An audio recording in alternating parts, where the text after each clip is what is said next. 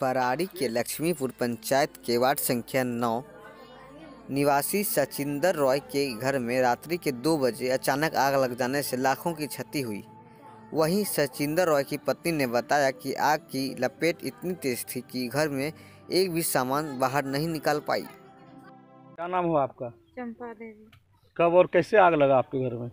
कैसे लगा? कि वो बिछौना सोए हुए न उठे हुए हैं तो देखे छप्पर पर तार हुआ बॉल उसी जगह उस पे छप्पर पर से बॉल गिर गिर के बरक बरक के गाय के देह पर गिर गया था। उतना देर में रस्सी काटे वो बाहर भाग गया भैंस खोलने लगे।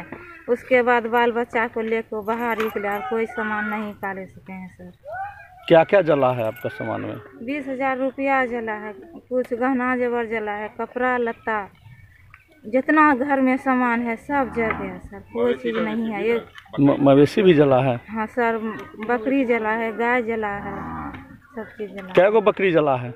ये एगो सर। एगो। एगो सर बकरी जरा हुआ दूगो को जल के निकल गए कौन सा पंचायत? लक्ष्मीपुर।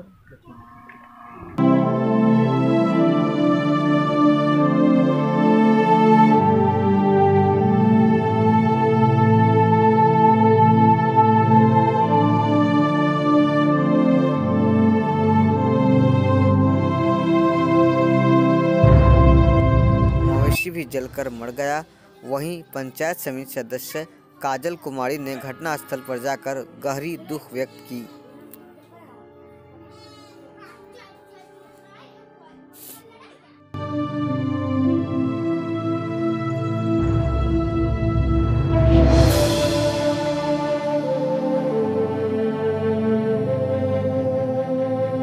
हमको तो पता नहीं है कि कैसे लगा है।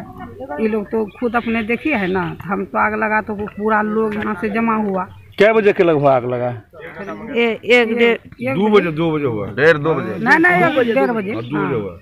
तो हल्ला गुल्ला हुआ तो हम लोग तो वहाँ से आए सब पूरा हमारा ग्राम का लोग पहुँच गया यहाँ पर। तो आप तो देख ही रहे हैं कि कितना चीज़ का नुकसान है कुछ बचा ही नहीं।